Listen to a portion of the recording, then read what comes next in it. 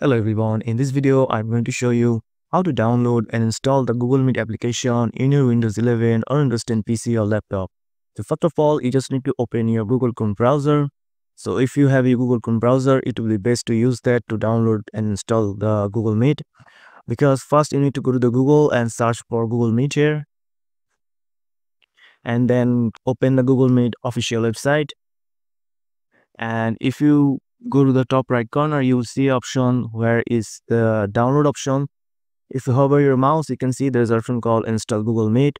So if you just click it it will say that if you want to install your google meet but if you doesn't have this option you can also go to the three dot option here.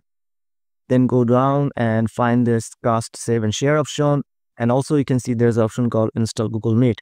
So if you just install google meet click on install. As you can see Meet web browser version or the application is installed in your PC.